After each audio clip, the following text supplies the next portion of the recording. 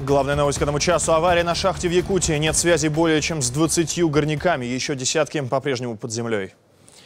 Я Егор Максимов. Здравствуйте. МЧС Якутии усилила отряд спасателей. Авария произошла на руднике «Мир». Он принадлежит компании «Алроса».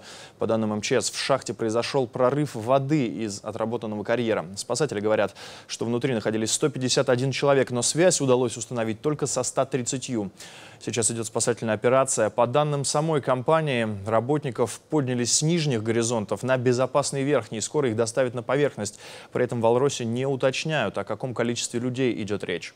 Источник Интерфакса сообщает, что в ходе эвакуации из шахты уже подняли 40 человек. На место происшествия вылетел глава МЧС Владимир Пучков. С ним из Бурятии направляется отряд из 30 спасателей и подземных водолазов. Это уже вторая за неделю авария на этом руднике. В конце июля там обрушилась горная порода. Погиб один рабочий.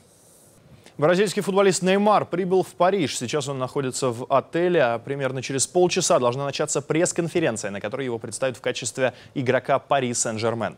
Накануне стало известно, что Неймар покидает Барселону. Этот трансфер обошелся в 222 миллиона евро и стал рекордным за всю историю футбола. Сейчас десятки людей выстроились в очередь в Париже, чтобы первыми купить футболку с его фамилией на спине. Сам бразилец рассказал, что с Барселоной он выиграл все, что мог, и теперь захотел поставить перед собой новый новые цели.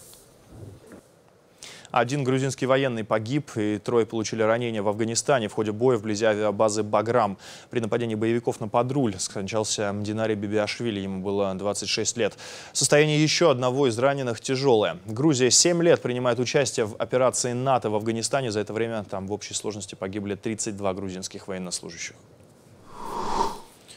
В Украине задержали двоих подозреваемых в организации теракта в Одессе. В службе безопасности страны заявили, что они проходили подготовку в России. В конце июня в центре Одессы неизвестные взорвали автомобиль. В нем было полкилограмма взрывчатки. Произошедшее расследуют как теракт.